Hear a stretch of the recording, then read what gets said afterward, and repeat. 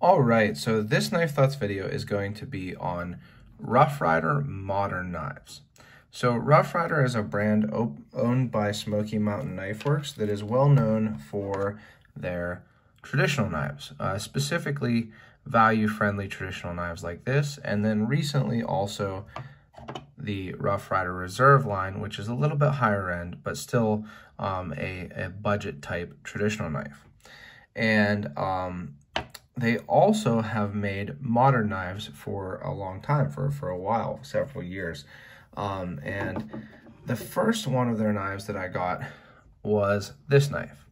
So this is the Rough Rider RR1989. And this was about $6, something like that. Um, not an expensive knife at all. And uh, it's, you know, an, a cool little knife. I, I got it just because of the, you know, pastel colors that it has here. Um, but it does have some issues. It's not perfectly centered. Um, it is an assisted opening and I had to adjust a little bit to get it to flip quite that well. I had to adjust the lock a little bit. It's tip down only, which I don't prefer.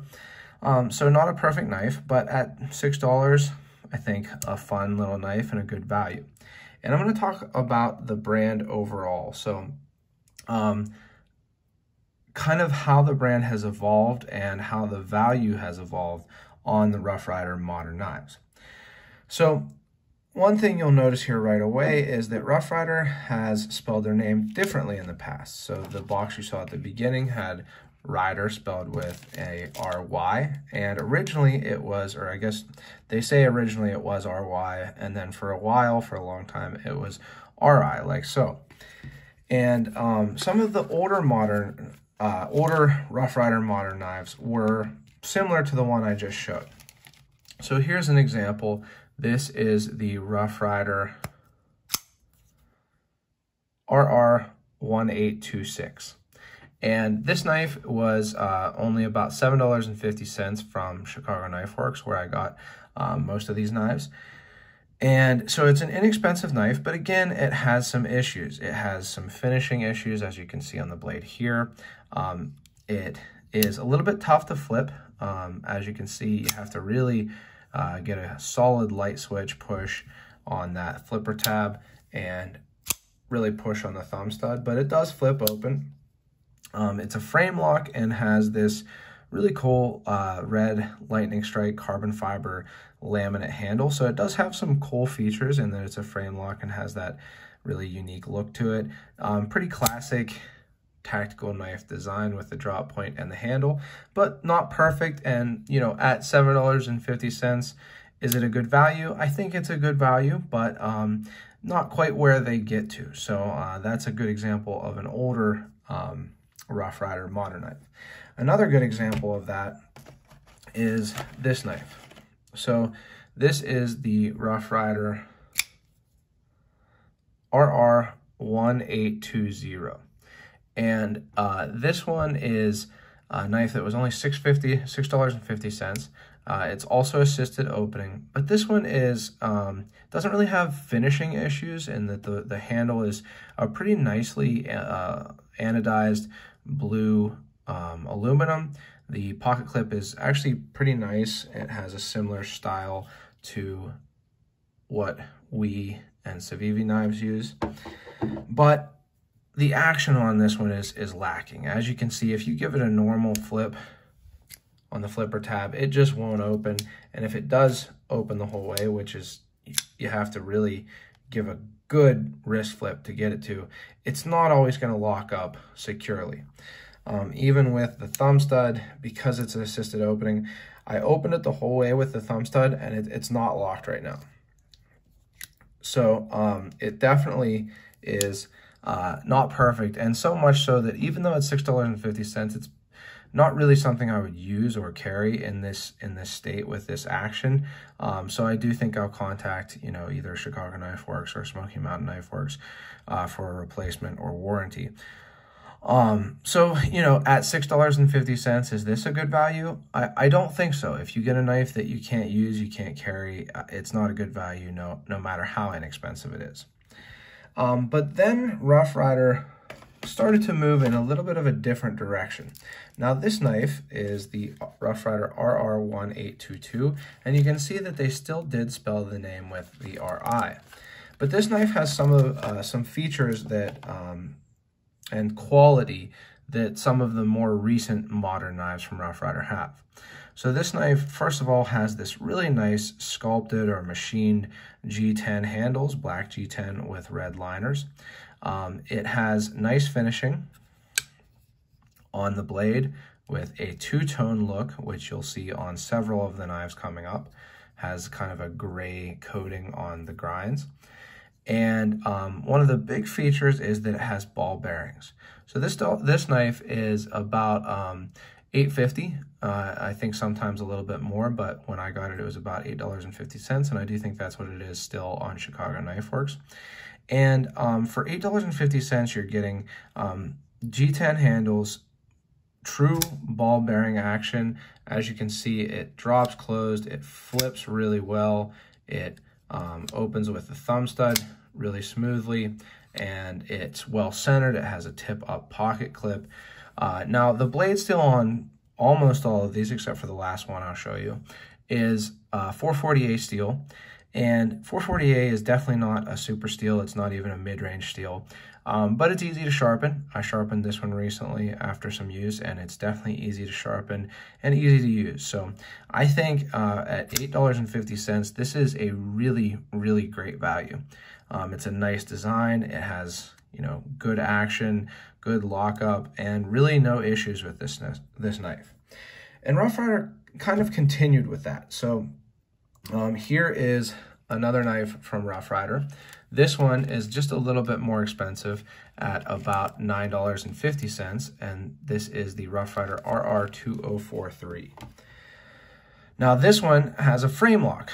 So the, the previous knife was a liner lock. This one's a frame lock and um, it has again that some of the same features that two-tone look on the blade as well as on the handle this time it has machining on the handle in the steel um, it has ball bearings as you can see it flips really well it doesn't have um, a thumb stud like the previous one.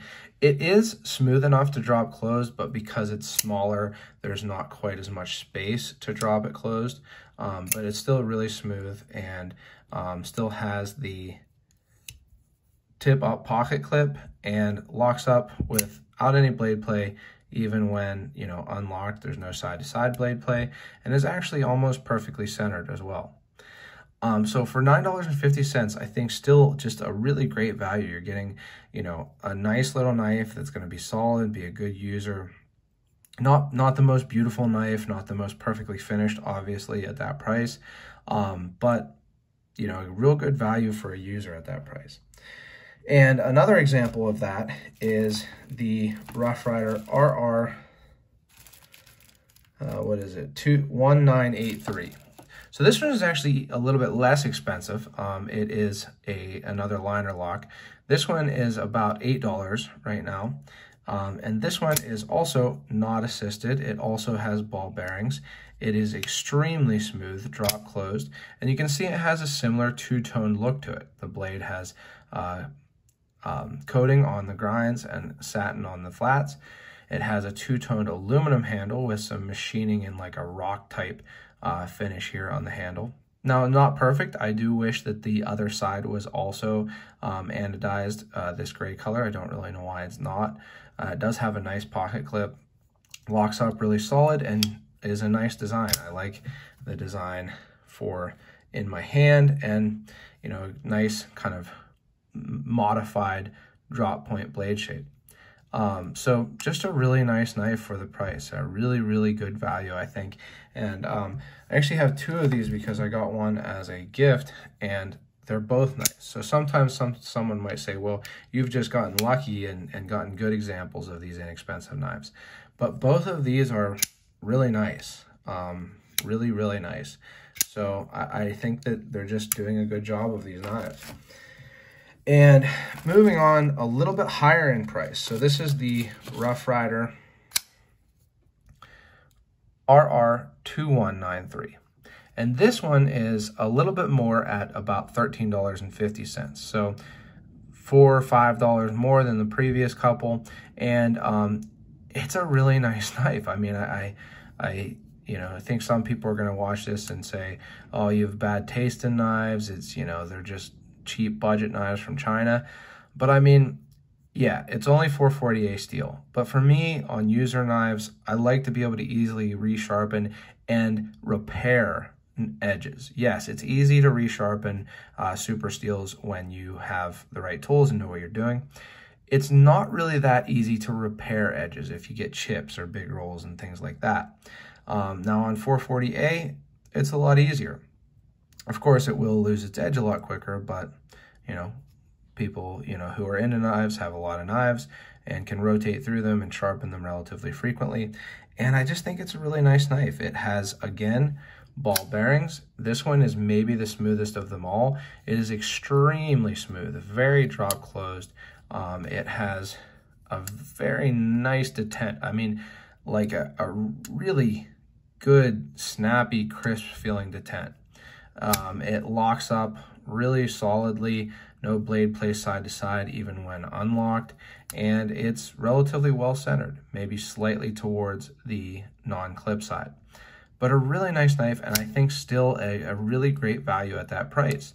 Um, now, one consideration when you're getting up to this price, because once it gets into that $15 range, not so much anymore, but there are some Kershaw knives in that range. Um, that, you know, are maybe 15 $20, especially when they're on sale. But really, Kershaw's, even the um, ones made overseas, uh, the more budget-friendly Kershaw's are a little bit more expensive than this knife now. Um, but there are some, especially when on sale, that you can get around this price. So a consideration if you are thinking about getting a knife like this is how does the Rough Rider warranty compare to the Kershaw warranty or you know any other budget knife manufacturer warranty? And Kershaw has a great warranty, and um, I think this is a good comparison here. Uh, Rough Rider, I've used their warranty on the um, traditional knives, and it's been a good experience. They have sometimes just replaced the knife, sometimes without me having to send the other knife in, um, and uh, they generally are willing to, you know, help you out. So I think they do, you know, stand behind the knives. And that's moving on to another knife here that I think is really interesting. So this knife is even a little bit more expensive at, um, let's see, $14.49 or about $14.50. But this knife has all of the features of the previous ones. It has really nice, high quality filling black G10 with red liners. It has very smooth ball bearings. It has um, a really nice design, this very traditional dagger design. And it flips really well and even I've found that this this can be used as like an Emerson wave. So you can catch it on your pocket as you pull it out and it will open automatically.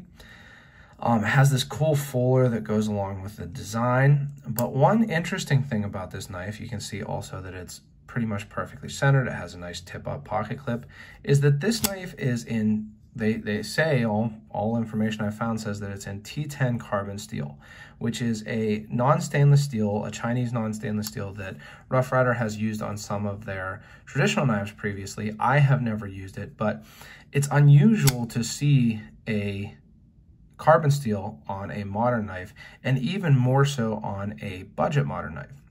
So Spyderco does some carbon steels. Um, even um, Benchmade with M4 and things like that, uh, but really never on a budget modern knife. So it's really interesting to see a knife at under $15 um, having such a you know unusual and unique steel in a carbon steel on a modern knife. So very interesting, something I'm looking forward to using and seeing how it responds to, you know, how it patinas and things like that. And just a straight up nice knife, a nice pattern, a nice design, and something that I'm happy to have gotten. So I wanted to make this video just discussing these knives, discussing the Rough Rider modern knives in general, and how they've developed over the years. I do think Rough Rider has overall um, improve the quality of their knives, both these modern knives and their traditional knives. Um, but especially these moderns, I think these are underrated. I think people don't really talk about these that much, and I think that they should. I think that they're worth um, being a part of the discussion on budget knives, especially for people who do want to, you know, keep their knife purchases um, to a pretty, you know, low budget. Uh, you really can and still get some very nice knives in these Rough Riders. I've been personally enjoying them. I've been getting them to give as gifts because you can give someone a good knife without spending too, too much money. And um, I think that they're worth checking out. So uh, I hope you've enjoyed this video. If you have, uh, go ahead and hit the uh, thumbs up. Also consider subscribing to the channel. I've got videos on other knives like this and knife related topics. And if you do, hit the bell for notifications so you know when I post new videos. Also check out my uh, social media, all at Knife Thoughts, and my website, knifethoughts.com, where I post articles on knives like this and knife-related topics. And as always, last but not least, don't forget to go out and do good.